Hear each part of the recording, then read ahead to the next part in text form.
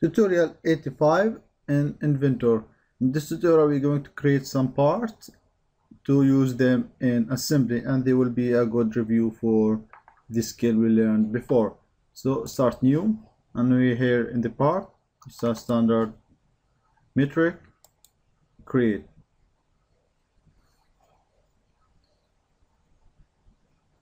So we're going to create a flywheel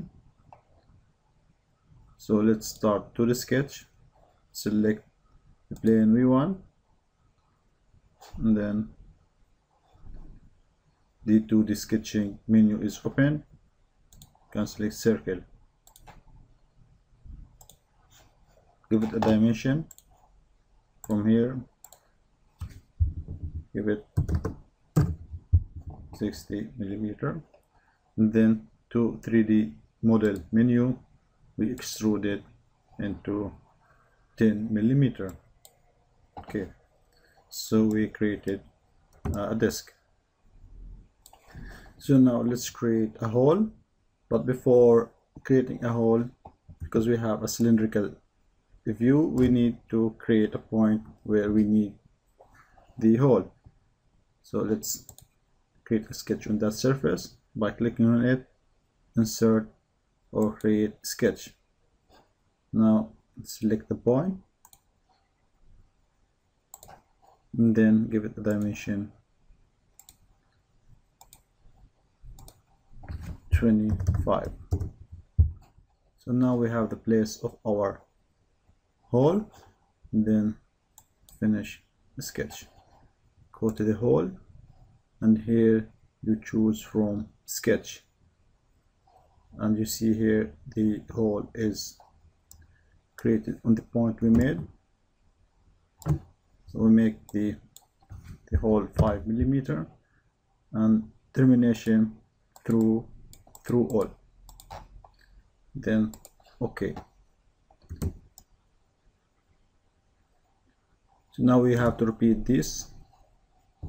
So use the circular pattern in the pattern menu. Circular feature. Select the feature to be the hole the axis of rotation that cylinder and the number we can make six. Okay. So this is the first part. Now let's save it on computer. Let's create parts for assembly. Now let's choose this is part one the disk now let's create a new part. Standard create and, and this time we're going to make a cylinder to join the disks we can do that also with the primitives cylinder. Can choose this plane? And can simply insert cylinder and give it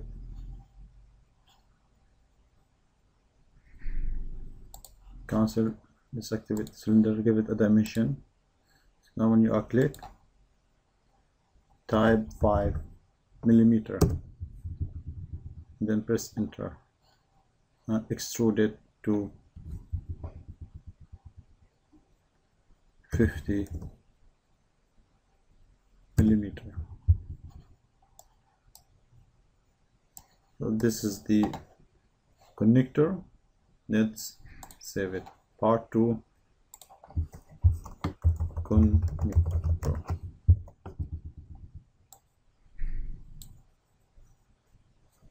So now we created very simple parts to start assembly with them. So in the next tutorial we're going to start a new assembly and show you how to insert your components.